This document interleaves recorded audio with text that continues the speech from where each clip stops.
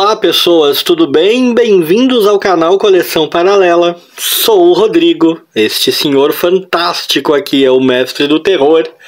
E a gente vai falar de um evento, de um encontro que está muito hypado no momento em que eu gravo esse vídeo, mas quando esse vídeo for ao ar, provavelmente o hype já diminuiu muito, se não desapareceu.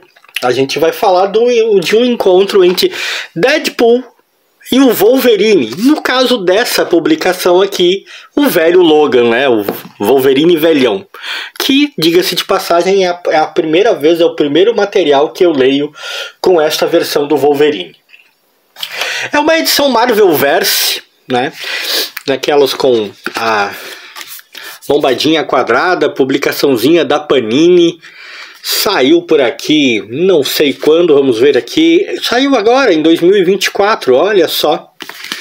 E eu não comprei essa edição, tá? Essa edição me foi dada de presente pelo meu irmão.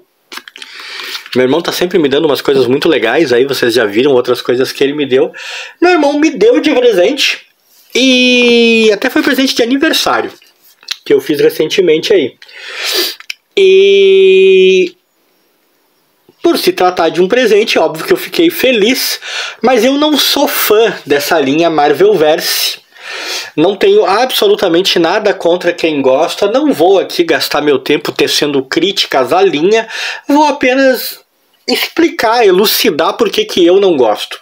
Eu não consigo me livrar da impressão de que essa linha Marvelverse é uma linha muito caça-níquel né?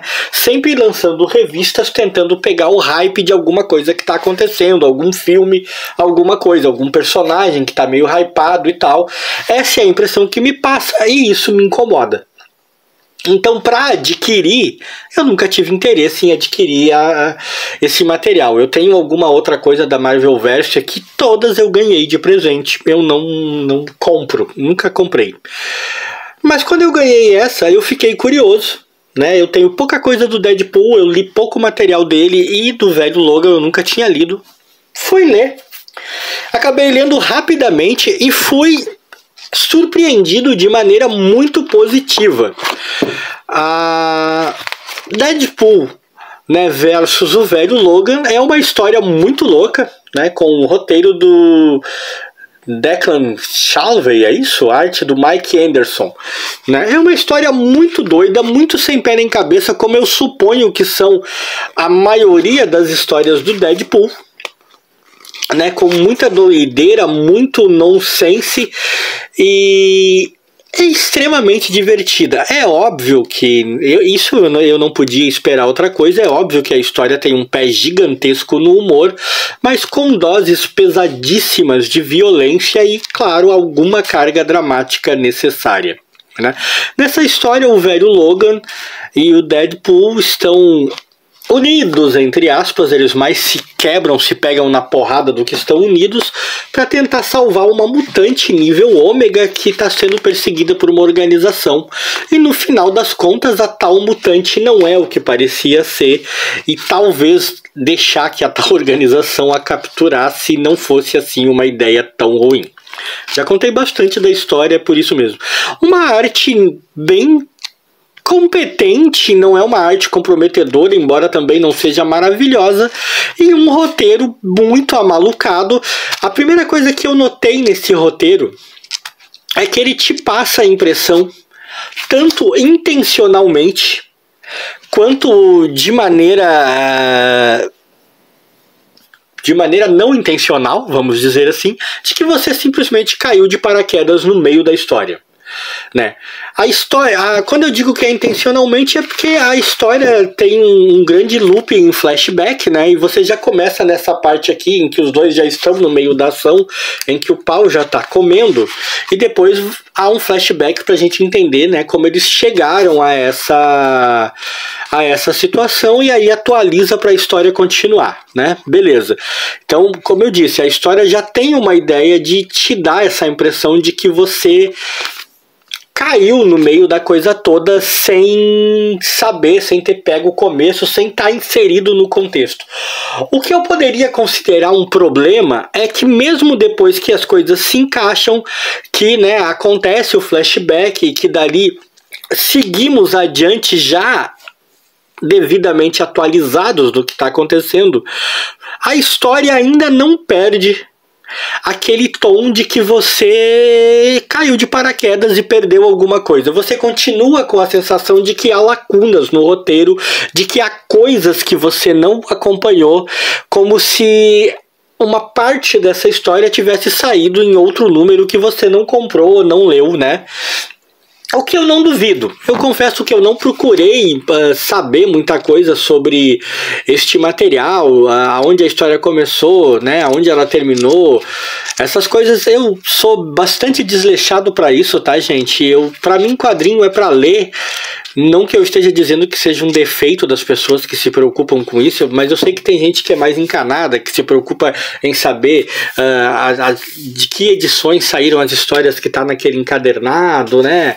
Onde, onde elas foram publicadas originalmente, o ano em que foram publicadas, essas coisas todas eu sei que tem pessoas que faz parte da diversão da leitura delas ter essa preocupação.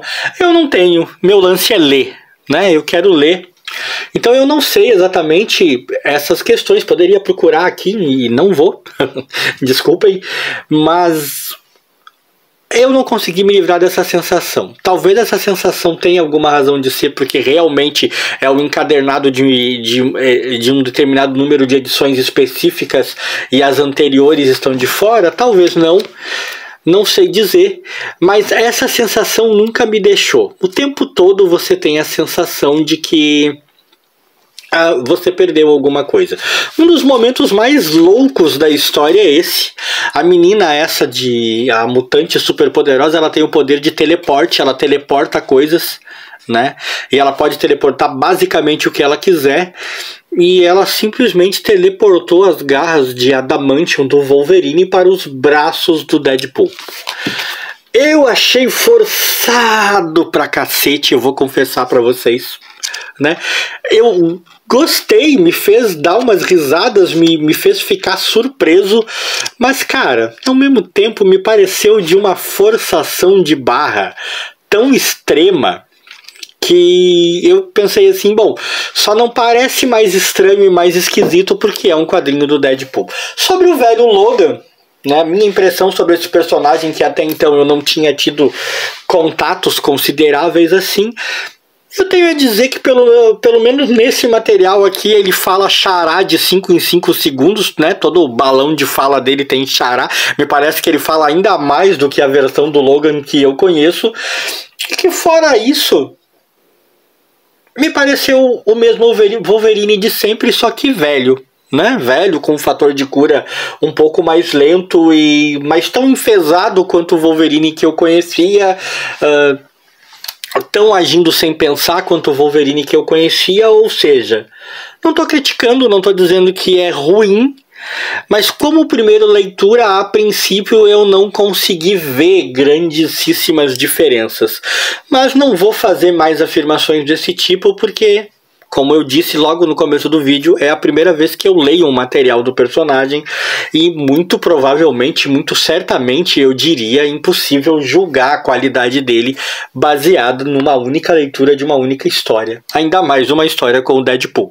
Agora, eu tenho que admitir que a sacada dele no final da história quando ele e o Deadpool vão se despedir, a sacada dele, a atitude dele, para mim valeu a revista inteira. É, foi fodástico, eu curti demais. Enfim, Wolverine versus o velho Logan, ou desculpa, né? Deadpool versus o velho Logan, Wolverine versus o velho Logan, até me confundi. Mas Deadpool versus o velho Logan é uma boa história, é uma história divertida. Eu acho que isso é o que melhor descreve. É uma história divertida que não se preocupou em fazer sentido nem em se levar a sério demais.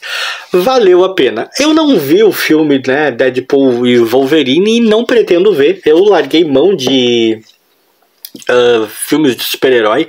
Comentei isso num vídeo do meu amigo Félix, do canal Proporções Cósmicas. O Félix assistiu o filme, ele fez um vídeo dando suas impressões. O Félix sempre tem colocações muito inteligentes a fazer sobre o material que ele apresenta, mas eu não assisti, não pretendo assistir. Eu desisti de filmes de super-herói, eu sempre saio incomodado com o que fizeram, com a maneira como adaptaram, então larguei mão. Né? Não pretendo assistir Wolverine e Deadpool, Deadpool e Wolverine, não pretendo ver. Mas li esse quadrinho para ter uma pequena ideia e do quadrinho eu gostei.